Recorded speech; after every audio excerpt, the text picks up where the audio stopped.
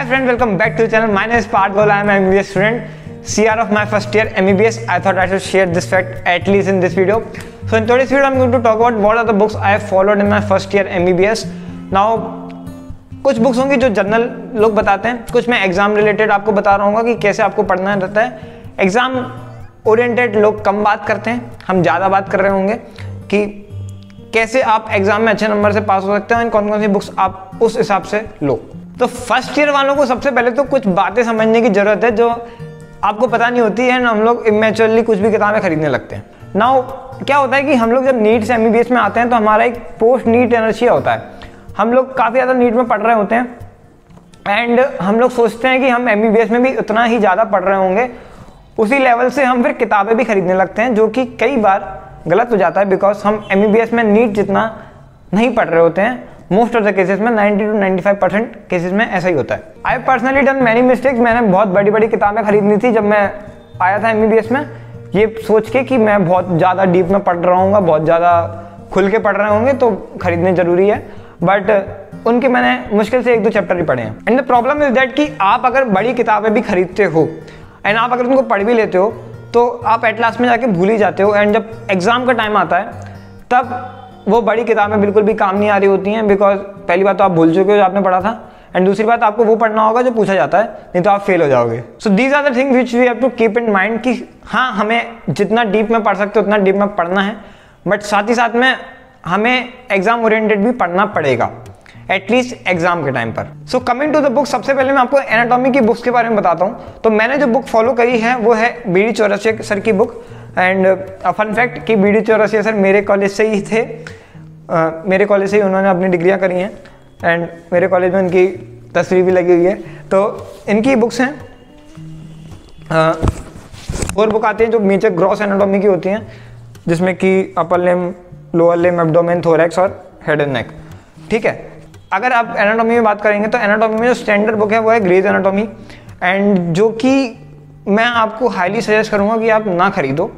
Because काफ़ी सारे बच्चे नहीं पढ़ते हैं। मैं बता सकता हूँ 90 टू 95 बच्चे नहीं पढ़ते हैं। मैंने अपने कॉलेज में खुद में देखा है। तो अगर आप पढ़ना भी चाहते हो तो आप क्या करो कि अपने लाइब्रेरी में जाके पढ़ो। बिकॉज़ लाइब्रेरी में मैंने देखा मोस्ट ऑफ़ द कॉलेजेस में अच्छी अच्छी लाइब्रेरी होती हैं। सारी उसमें किताबें होती हैं। आपको जब भी ग्रेज एनाटॉमी पढ़ना हो, आप लाइब्रेरी से इशू करवा लो या तो या लाइब्रेरी में बैठ के पढ़। लो बिकॉज़ वो बहुत ज़्यादा मोटी किताब है, बहुत ज़्यादा महँगी किताब है। And it is a really अब पैसा वेस्ट अगर मतलब तुम्हारे पास इतना पैसा नहीं है कि तुम खर्च करोगे तो लिटरली कोई ज़रूरत नहीं है उसकी। तुम आराम से लाइब्रेरी से इशू करवा सकते हो। एंड वो रेफरेंस के लिए हो सकती है, वो कभी भी मेन बुक बनाना बहुत मुश्किल है ग्रेज एनाटोमी को। तो मेन बुक आप बीडी चौरसिया को रखो। विश्राम सिंह भी आती है बट आई हैव यूज़ वीडियो चोर से एंड अच्छी किताब है। इसके बाद एनाटॉमी का ये तो हो गया हमारा कि हम साल भर पढ़ रहे हैं तो हाँ बीडी चौरसिया को हम ले सकते हैं as a main book now the thing is कि ये किताबें तो आपको साल भर चला देंगी बट एग्ज़ाम टाइम पर आप सोचो कि आप इन किताबों से पूरा पूरा पढ़ रहे होगे तो ऐसा कुछ नहीं होता है। एग्ज़ाम टाइम पर हमें इंपॉर्टेंट क्वेश्चन होते हैं जो हमारी यूनिवर्सिटी में सबके पास घूमते हैं तो वो इंपॉर्टेंट क्वेश्चन हमें करने होते हैं। नाउ इंपॉर्टेंट क्वेश्चन के लिए मैंने पर्सनली मुझे बुक काफ़ी अच्छी लगी है selective anatomy preparatory module for exams तो ये एग्ज़ाम टाइम पर बहुत अच्छी किताबें हैं बिकॉज़ इसमें आपको क्वेश्चन वाइज मिल जाएगा। जो भी चीज़ें हैं, जैसे मान लो कि कुबेटल फोसा के बारे में पूछा गया है तो उसका पूरा आपको स्ट्रक्चर वाइज पता चलेगा कि हाँ भाई ऐसे आपको क्यूबेटल फोसा के बारे में लिखना है, ठीक है? फिमोरल ट्रायंगल के बारे में ऐसे आपको लिखना है। तो इस तरीके से इसमें सारे जितने भी इंपॉर्टेंट क्वेश्चन वगैरह हैं, वो सब दिए हुए हैं। एंड द रियलिटी इसकी बी डी चौरसी का कोई पूरा याद कभी नहीं कर सकता। एंड एट द एंड ये एग्ज़ाम ओरिएंटेड बुक्स मुझे स्पेशली एनाटॉमी की जो सिलेक्टिव एनाटॉमी है, ये काफ़ी अच्छी लगती है। नाउ कुछ लोग कहेंगे कि ये नहीं यूज़ करना चाहिए। हाँ ये एग्ज़ाम के टाइम पर यूज़ करना चाहिए। साल भर यूज़ करोगे तो अच्छा नहीं है। ना कमिंग टू फिजियोलॉजी फिजियोलॉजी की जो स्टैंडर्ड बुक्स हैं, वो हैं गेनाउ सबसे पहली तो एंड दूसरी है गाइटन अब ये दोनों बुक्स मैंने खरीद तो ली थी बट मुश्किल से मैंने इनके दो तीन चार चैप्टर ही पढ़े होंगे। एंड ये सबके साथ होता है। मोस्ट ऑफ़ द लोगों के साथ ये केस होता है कि वो नहीं पढ़ पाते हैं स्टैंडर्ड बुक्स बिकॉज़ क्या होता है कि पहली बात तो हम स्टैंडर्ड बुक्स अगर पढ़ भी लें, कोई दिक्कत नहीं है। पढ़ लें, कोई दिक्कत नहीं है। बट उसको फिर हम भूल भी जाते हैं। एंड क्योंकि कोई भी चीज़ को अगर आपको रिटर्न करना, आपको बार बार उसको रिवाइज करना पड़ेगा। एंड अगर आप ये सोचो कि आप स्टैंडर्ड बुक्स को बार बार रिवाइज करोगे तो वो इतनी मोटी होती है, आप रिवाइज तो कर ही नहीं सकते। आप एक बार बार पढ़ सकते हो बस। इसलिए एट द एंड जाकर के हमें एग्ज़ाम के लिए इंडियन ऑथर की बुक ही लेनी पड़ती हैं।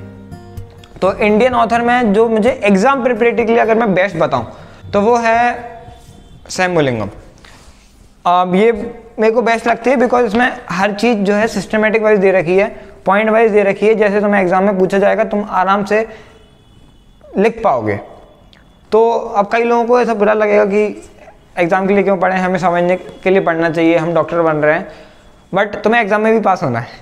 एंड इस वजह से तुम पढ़ सकते हो स्टैंडर्ड बुक जब तुम्हें शुरुआत में टाइम मिलेगा तो। बट एट लास्ट में जाकर के तुम्हें इन बुक का सहारा लोगे तो अच्छा है बिकॉज़ गाइटन एंड कैनॉन वगैरह से तुम एग्ज़ाम में लिखने में तुम्हें दिक्कत आ सकती है। Now comes to the biochemistry part तो बायोकेमिस्ट्री में जो बुक है स्टैंडर्ड वो है हार्पर।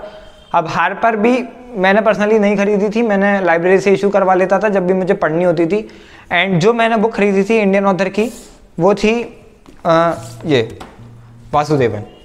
तो ये एक अच्छी किताब है इसमें समझ में आ जाता है चीज़ें कॉन्सेप्चुअली दी गई हैं। तो अच्छी हैं। एक और दो और किताबें आती सत्यनारायण और पंकज नायक। तो वो भी अच्छी अच्छी किताबें हैं बट ये ठीक है मतलब ये एग्ज़ाम के लिए भी ठीक ठाक लगती है मुझे। एंड पढ़ने के लिए भी ठीक ठाक लगती है। ना इन माई केस मैंने पर्सनली एग्ज़ाम की अगर प्रिपरेशन की बात करें तो मैंने यूट्यूब पर वीडियो देखना मुझे ज़्यादा पसंद है बिकॉज़ वीडियो में ज़्यादा मज़ा आता है मुझे इंस्टेड ऑफ़ रीडिंग तो मैं वीडियो देख करके फिर इसमें जो भी मुझे पॉइंट समझना होता है, वो इसमें देख लेता हूँ। एंड इस तरीके से मैं फिर अपने नोट्स बना लेता हूँ वीडियो देखते देखते तो मुझे हो जाता है। मतलब मेरा इस तरीके से मैंने बायोकेमिस्ट्री की प्रिपरेशन करी है। इसलिए बुक्स के साथ साथ मोस्ट ऑफ़ द टाइम तो वीडियो और जो भी ऑनलाइन मटेरियल है वो भी बहुत ज़्यादा काम आ रहा होता है। तो दोनों को यूज़ करो। सो so, बस इतना ही बोलना था। होप आप लोगों को वीडियो इंपॉर्टेंट लगी होगी। अगर कुछ भी हेल्प हुई है मेरी तरफ़ से थोड़ी सी तो प्लीज़ इस वीडियो को लाइक कर देना। नए हो चैनल पे तो सब्सक्राइब कर देना। एंड मिलता हूँ मैं नेक्स्ट वीडियो में। तब तक के लिए फोड़ते रहो मचाते रहो। बाय